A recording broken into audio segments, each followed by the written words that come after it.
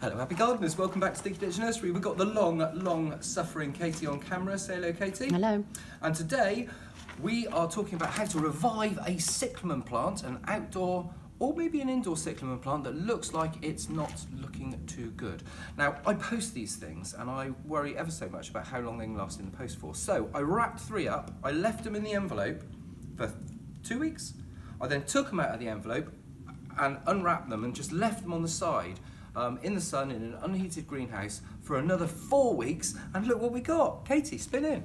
Now, while I was doing this, uh, here we go. Look at this. We've still got flowers coming up on it, and we're gonna. This will be okay. Now, this is a hederifolium bulb, and so it's got a big old flat bare bottom like that, and the roots come out around the side like this, and then you have the flowers coming off the top.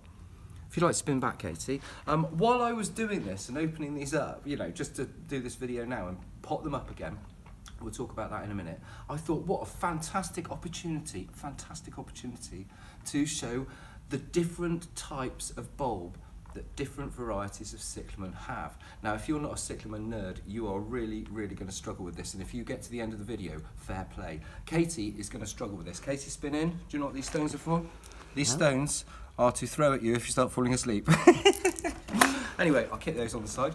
So what we're going to do first is we're going to pot up this one. Now look, as you can see, it's dried out completely. We've still got nice roots going on it. We've still got fleshy growth on the top, you know. But even if you haven't got this, it's worth a go. Um, here's the other one. And as you can see, they're all hederifolium, so they've got this sort of round base to them, and then the roots come out the side. All the bulbs are different, and it's quite good, if they're not in flower or in leaf, to be able to identify what type of bulb you have um, just from the shape of the bulb itself. You know, we've got a few roots coming out of the bottom of that one, but as you can see, they're predominantly sort of an oval shape like that.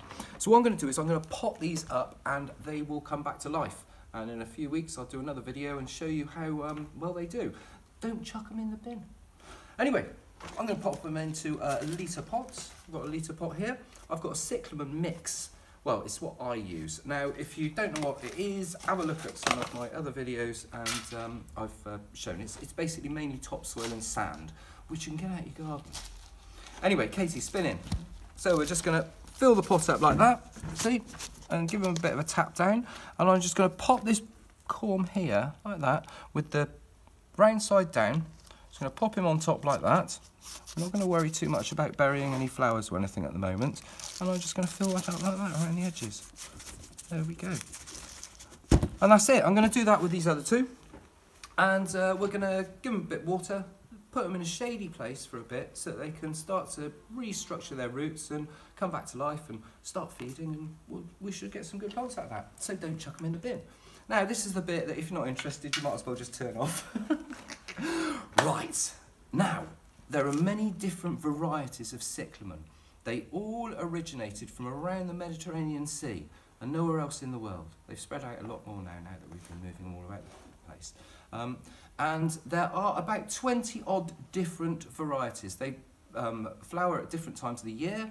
Uh, they put up leaf at different times of the year. So they've sort of, um, oh, what's the word? Evolved in separate little isolated locations, and so they're slightly different from each other. And so anyway, let's have a look at the bulbs. Now this one here is a cyclamen coum. This is a variety um, that's spelled like that. Yep. And uh, these flower in winter. These, the leaves come up now, we're in October in the UK at the moment, and these flower now. And I'll show you what the bulb looks like, because I'm going to be potting this up. Now, ideally, when you do pot up these plants, you do not want to disturb the roots too much. Um, but if you do, it doesn't, it, it, it will take a bit, it won't kill it. It won't kill it, that's all I'm trying to say. So what I'm going to do is I'm going to slowly tease that out of there so we can actually get down to the size and the shape of this corm and where the roots are. Oh, I've lost a leaf there.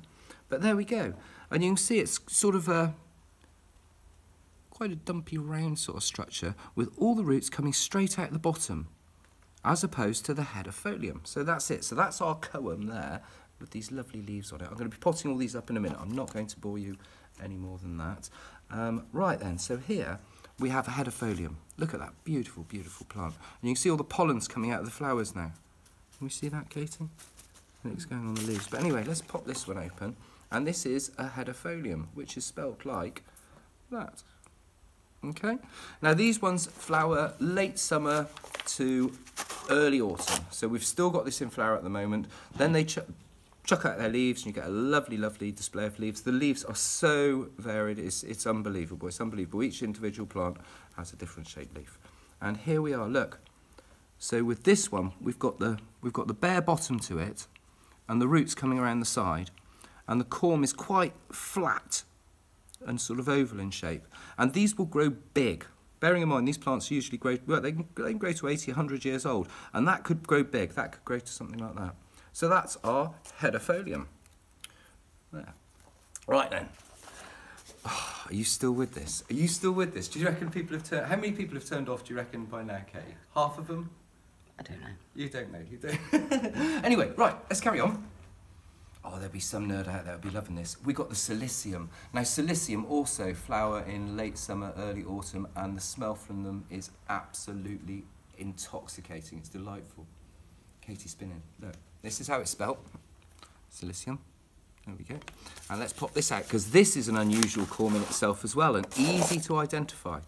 So if I break all this. Now, these plants are going to take a bit of time to catch up once I've done this, but so there we go. So your cilicium bulb, corm, sorry, um, has got the roots coming out the side. Can you see that? Is that a good picture, Katie? Uh, I think it shows it. Yeah? Wait a minute, let me put it down like this. See, they don't come out the bottom like a coum. They come out sort of to the side, like this, in a big old clump. Very different to the hederifolium. So that's our cilicium. We're almost there, ladies and gentlemen. We're almost there. Right, now we have the Graecum. Here's a Graecum, Katie spinning. They're in flower at the moment. Look at that, beautiful plants. Look at that, and the flower just beginning to unfurl. Katie, can you get a close-up on that in focus? Look at them, they're like little umbrellas. Beautiful plants. These come from Greece. Um, they're a little bit more tender than the hederifolium, the cilicium and the coum. So if you put them outside in the UK, um, I don't know what the zoning is off the top of my head in America, I'm ever so sorry, but um, in the UK, they'll probably be all right in the south, but you want to keep them in an unheated greenhouse. And anyway, where's our Graecum? Here's our Graecum here. And let's have a look at this, because this is also a very unique shaped corm. I'll pop him out. Now, Graecum have a long root. So if you once they get quite large and you're planting them in pots, you want to see that one's sort of not happy with how narrow that pot is. You want to plant them in something quite large. In fact, I've got, wait a minute, Katie, can you just keep her thing a minute? Look, here we go. I've got a grape in a graping pot. There we are. But as you can see, these are my sort of shoes, if I ever overcome my agoraphobia and do a show. Um, but yeah, you see a Graecum pot has got quite a long base to it, um, and this is to accommodate this long roots. And here we are, Katie spinning. And once you sort of see it's got a, quite a big fleshy root coming out of the bottom there. See that? Yeah. And the corm itself isn't as smooth as the other ones. It's really quite sort of raggedy like that. So that one there is a Graecum. And then finally, finally, um, we have the persicum.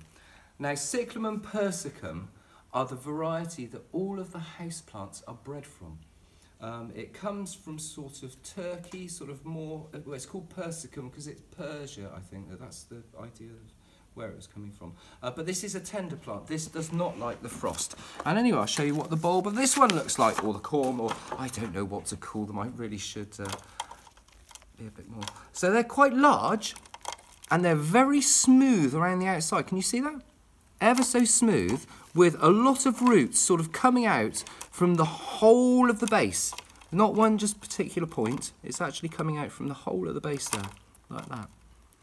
And there we go, and that's your persicum. Persicum. So I'm going to be putting those up now into bigger pots, and uh, they'll take a little bit of time to re-establish themselves, but, but there we go. Cyclamen bulbs, um, what more can I say? If you made it to the end of this video, well done. This has been Robbie Phoenix down at Stinky Ditch Nursery with Katie on camera, and she made it to the end. I didn't need my stones. Um, just showing you what different cyclamen bulbs look like so you can identify them if there's no top growth.